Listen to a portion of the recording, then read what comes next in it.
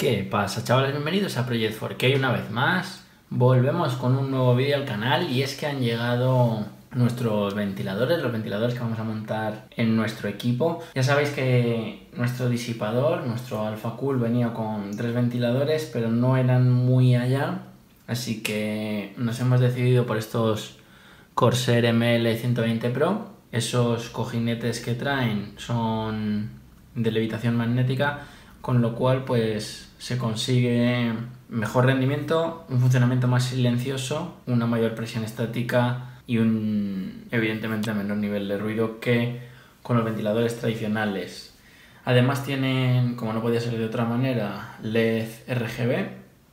Cada uno de ellos tiene cuatro LEDs, ¿vale? Que proyectan esa luz hacia, hacia el exterior del aro.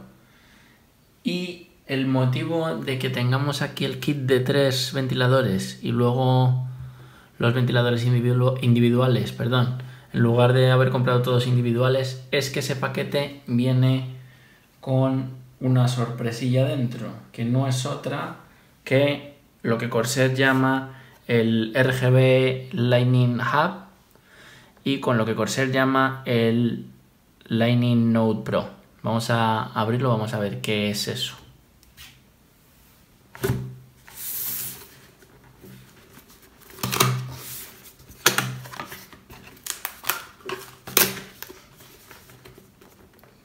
abrirlo porque no tengo uñas. Ahí ¿Vale? Esto primero que tenemos aquí. Ok. Pues tenemos por aquí nuestro Lightning Hub, si no me equivoco. RGB Lightning Hub. Que va con, con un SATA para alimentar y luego tiene ahí esas dos entradas RGB y por el otro lado iría conectado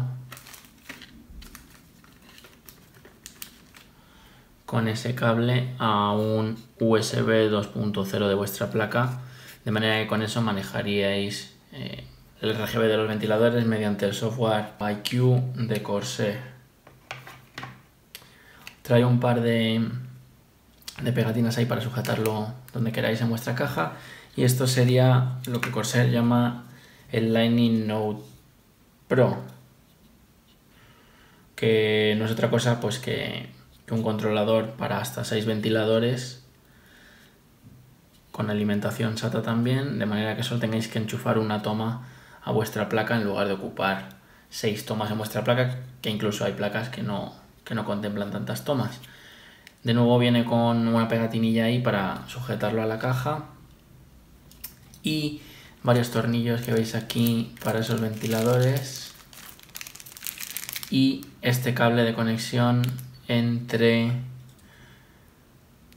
si no me equivoco, sí, entre el Note Pro y vuestra placa base. Algo de literatura por aquí, la documentación de la garantía, y un pequeño manual, bueno, pequeño, para ser ventiladores es bastante grande, pero habla pues eso del, del Lightning Hub y del Lightning Node Pro. Y ya, pues si seguimos por aquí,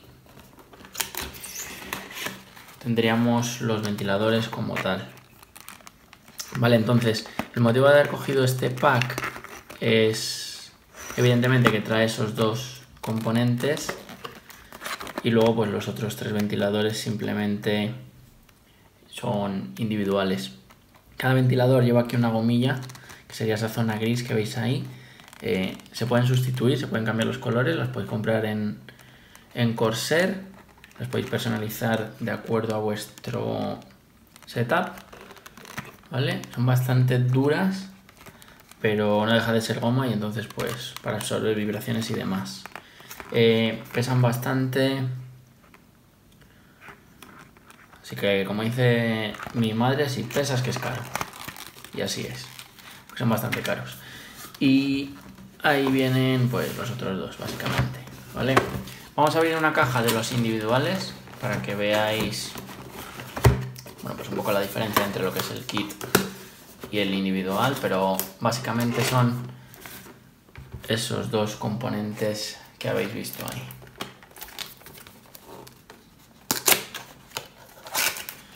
Todo esto, pues gracias al bendito Black Friday, nos va a salir bastante más barato. Así que genial. Simplemente que sería la tarjeta de la garantía y eso, pues viene una por, por ventilador, pero el, el empaquetado es exactamente igual con el cable ahí abajo recogido y por aquí asoma, a ver si llegáis a verlo, la bolsita con los tornillos de cada ventilador.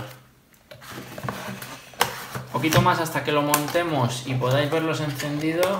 Eh, yo os explicaré durante el montaje del ordenador cómo conectar ese RGB Lightning Hub y ese Lightning Note Pro, pero es súper sencillo. Alimentación por un lado, USB por el otro y a nuestra toma de ventiladores de la placa a la que nosotros elijamos por el otro.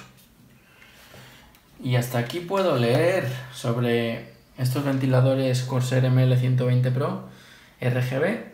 Tienen bastante buena pinta. Montaremos tres en la parte de abajo de la caja para darle aire directamente a la gráfica y montaremos tres arriba en el radiador expulsando aire caliente fuera de la caja a través del radiador. Así que bueno, espero que rindan súper bien, confío en que rindan súper bien y nada, dejadme por aquí debajo en los comentarios lo que os parece a vosotros estos ventiladores para nuestro setup. Dejar pulgares arriba si os ha molado el vídeo, no os olvidéis de suscribiros al canal y de compartirlo en vuestras redes y nos vemos en el próximo que ya está de camino, ya está de camino el componente. Así que nada, a cuidarse.